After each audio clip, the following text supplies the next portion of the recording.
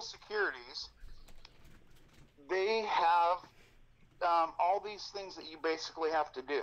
So, because they've been really prone to fraud in the past, there's very special regulations surrounding them.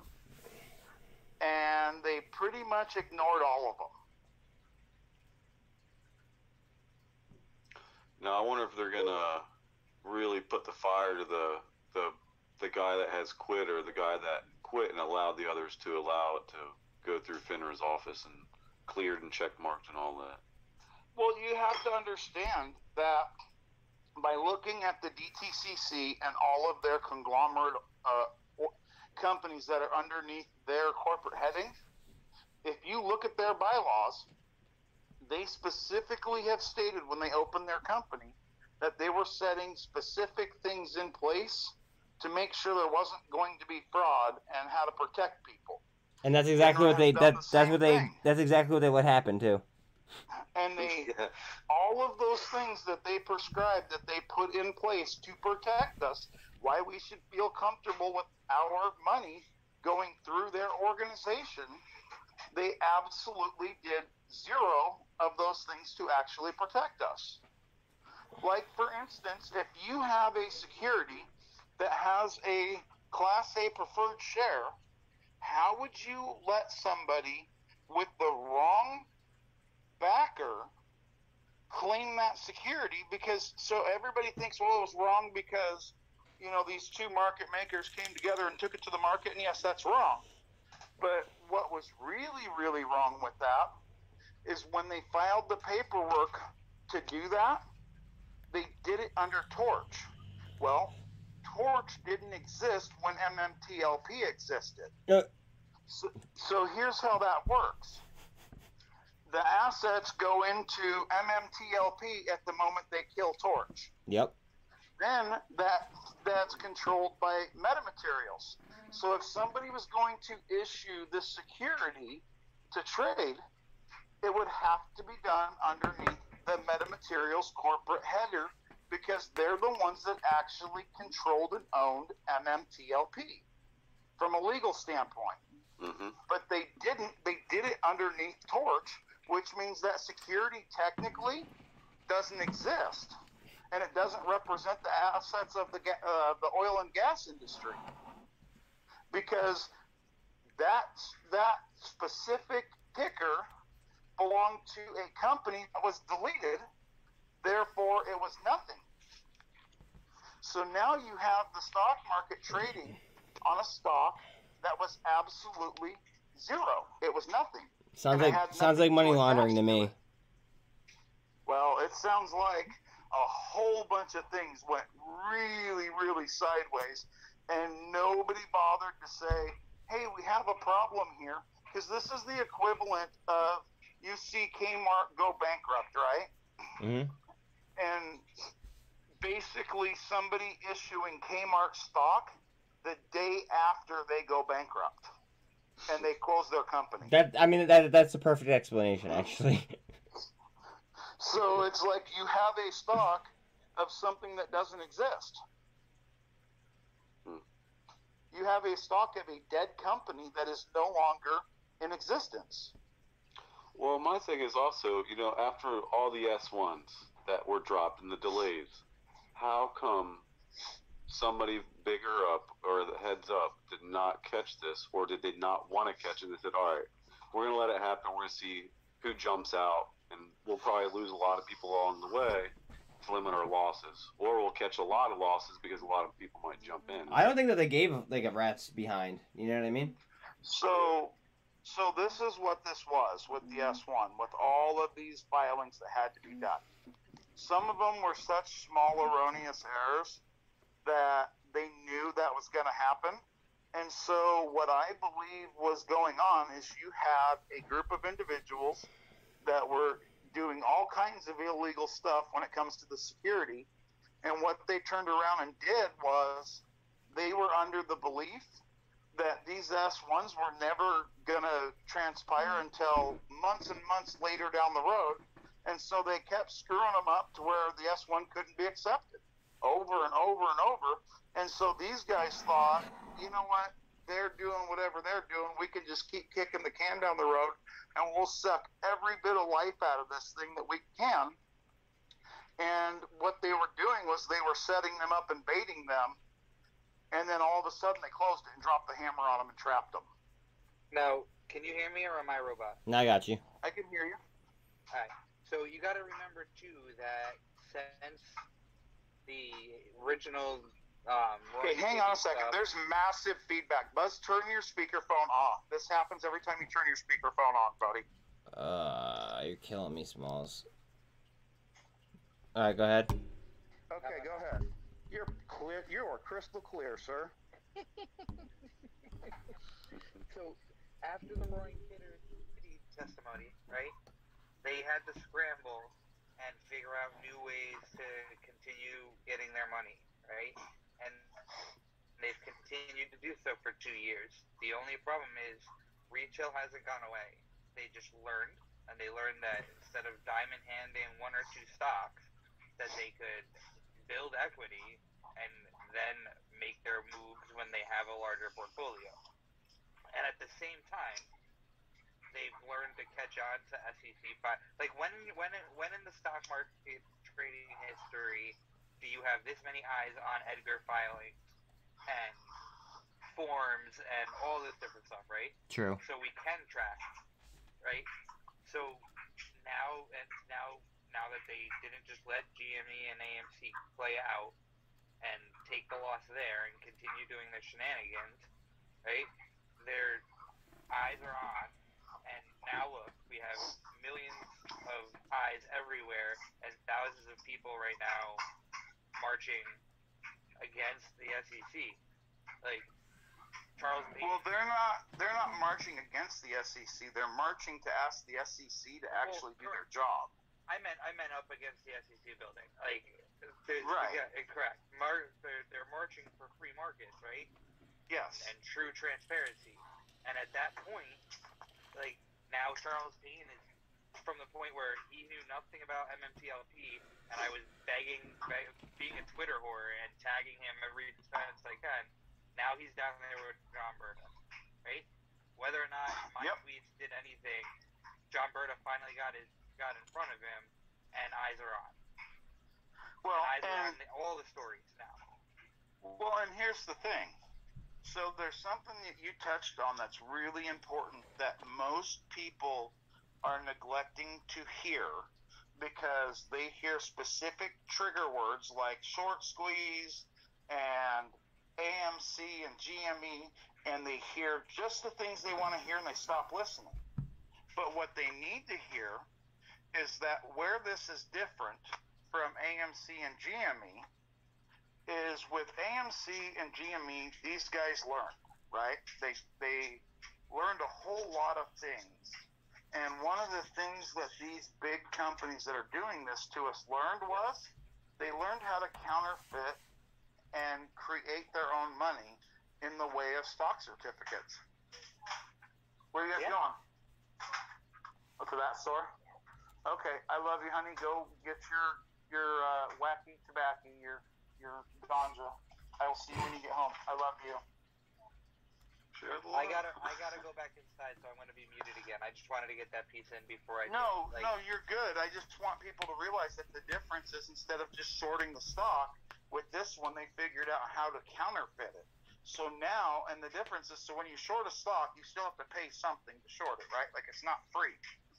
with this, they learned how to have no skin in the game and collect all the money.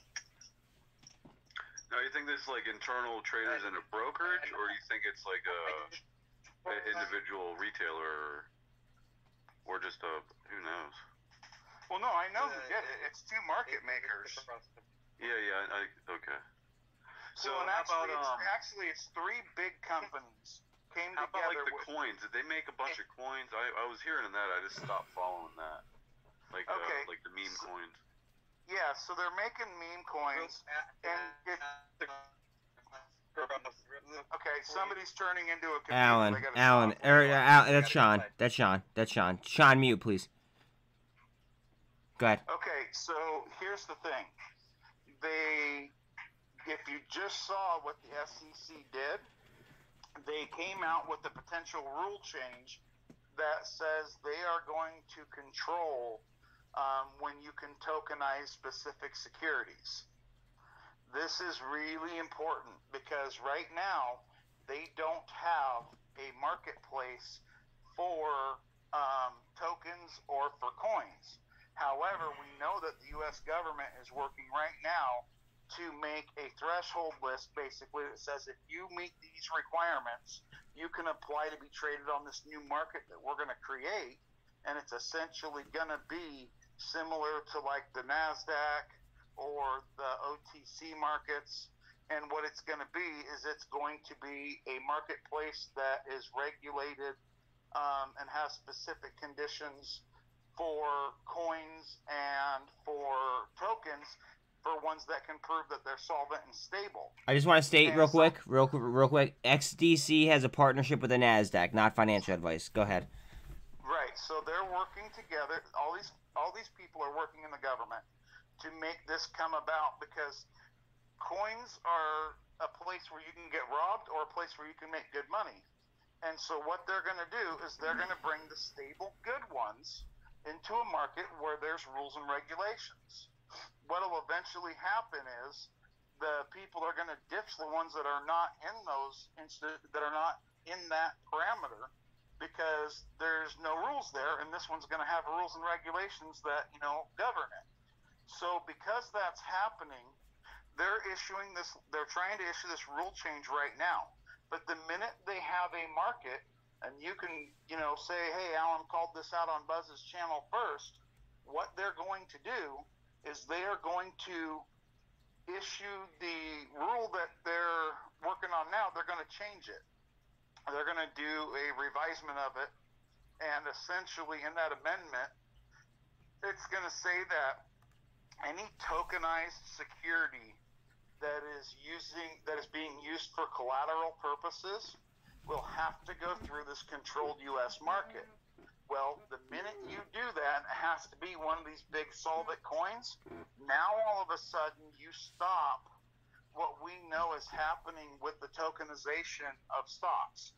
Now, I can't get any further into how stocks are being tokenized right now because there's a lot of people that are working on this and there's a lot of very sensitive information there. But I can tell you that this is why they full throttled the fraud that they're doing.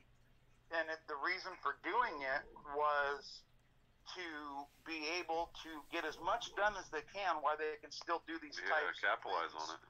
Right. So because they know the door's closing. The other thing that we realized that happened was because that door's closing, MMTLP was a test. It was a test by these big bro or by these big guys that are basically robbing us blind. It was a test to see if they could pull off um, counterfeiting OTC shares. Hmm. And if they could counterfeit OTC shares, all they would have to do is to hide all of this. All they have to do is they counterfeit all these shares, they get them trading, they let it hype up, they let all these people trade it, and then when it dies and it goes down to almost zero in price because they kill, you know, they they inflict severe damage to it um, by shorting it. Essentially, they buy it all back, all their counterfeited shares, and they shred them because once they buy them back, they don't have to disclose what they do with them. They can call them a loss and write them off. And they can literally put them in the shredder and say, okay, that doesn't exist anymore. We took this loss here when really they didn't take a loss. They made hundreds and hundreds of billions of dollars because they don't have to report income And billions with a B, you- just to be clear. no, you do, no. But what you don't have to do is you don't have to report income when you counterfeit a share because you don't have to show where you purchased it from. So there's not somebody else reporting taxes on the other side of that transaction because you just made it up out of thin air and you counterfeited it. It gives you the ability to say, "Hey, you can see where we were trading these securities. We took this massive loss. This thing is gone. It's dead and, and deceased. But here's our losses, and they don't ever have to account for um, what they actually had to pay for those in the first place. And if they did, it would be really odd that they got them for free. Oh, it's like who's overseeing the overseers? That's what I want to know. Well, that's really on? simple. That's You a, have- that's the problem. you have FINRA and the SEC is run by guys that worked at the hedge funds. The other problem we have is we have this thing called the stock borrow program. Ugh. This was made. This was designed and made by Bernie Madoff, and that's really interesting. You can't make this shit up. Found that somebody found a back door to use this as a, a device for scamming. Weird. That's really interesting. Then you have PFOF, which is the payment for over for order flow. There's another thing that allows for high frequency trading, which we know that high frequency trading can put liquidity in the market and keep the market stable. However, it's highly abusable because if you do specific things with it, now you're using it to actually control the market instead of stabilize the market.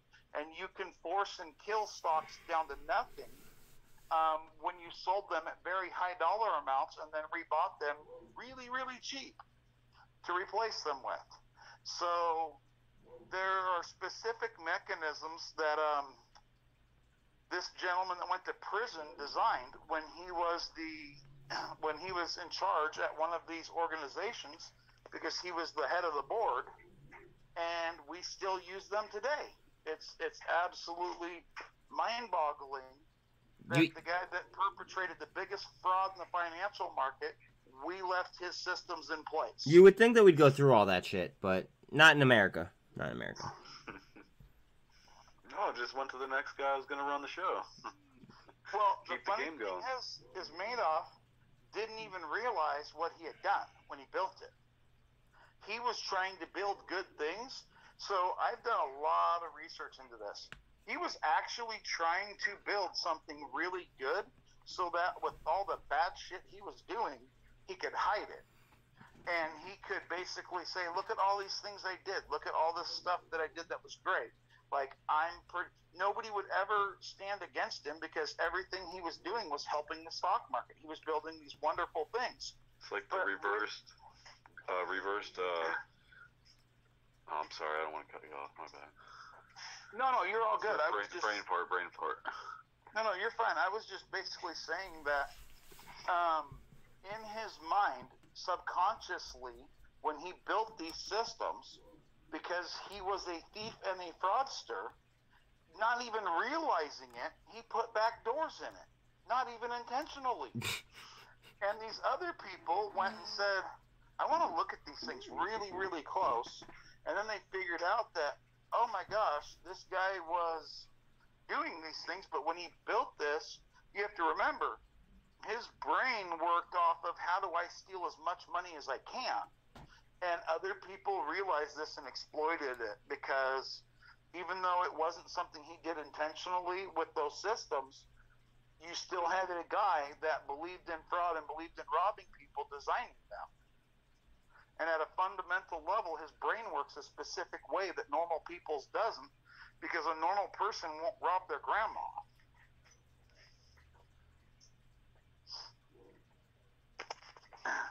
if that helps with all of that.